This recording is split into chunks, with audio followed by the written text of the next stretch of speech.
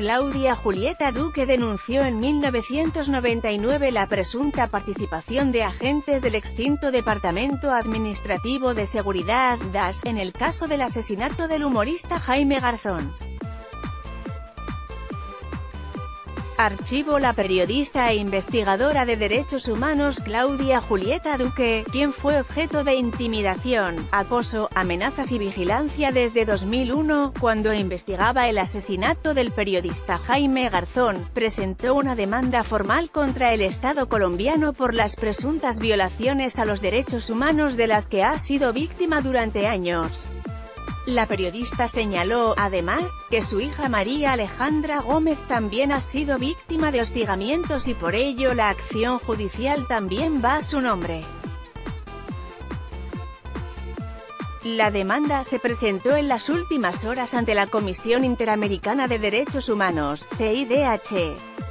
La solicitud ante la comisión estuvo también acompañada por la Fundación para la Libertad de Prensa, FLIP que ha acompañado el caso de Claudia Julieta Duque desde hace más de una década, incluso varios de sus miembros han servido como testigos en los procesos judiciales en Colombia. Lea la más perseguida del DAS, según como fue relatado por este diario en 2013, el acoso en contra de Duque comenzó pocos días después del crimen del periodista y humorista Jaime Garzón, ocurrido el 13 de agosto de 1999, pues al investigar el asesinato Duque encontró pistas que, supuestamente, relacionaban agentes del Estado con el homicidio. Esto le costó un secuestro, un hurto, continuas llamadas intimidantes y un sinnúmero de ataques que la pusieron en riesgo y la obligaron a exiliarse en el año 2001. Regresó al país en 2002 y empezó a colaborar en un documental del programa Contravía emitido meses después, en el que se documentaba que la investigación del caso Jaime Garzón había sido desviada por el DAS y, en su momento aseguró que volvió a ser víctima de las persecuciones y amenazas en su contra. Lea. Impunidad en procesos por ataques a periodistas llega al 98,81%. En la petición ante la CIDH Claudia Julieta Duque y su hija hacen un recuento de las violaciones a los derechos humanos infligidas por el DASE entre los años 2001 y 2008, y además mencionan la impunidad en la que permanecen nuevas amenazas y hostigamientos como consecuencia de la batalla de Duque para que la verdad de su caso salga a la luz.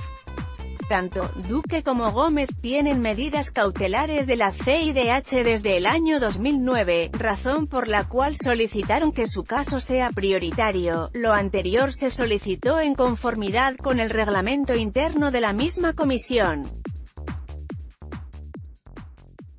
La justicia colombiana estableció en su momento que si hubo un ataque sistemático en contra de la periodista por lo menos entre 2001 y 2004.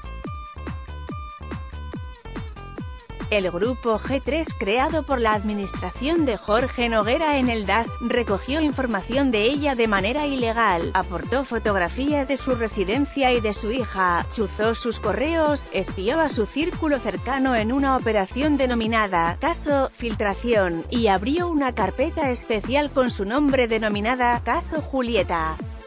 Lo más absurdo es que el 17 de noviembre de 2004 se creó un manual para amenazarla, que tenía instrucciones para evitar ser descubiertos y hasta las frases para intimidarla.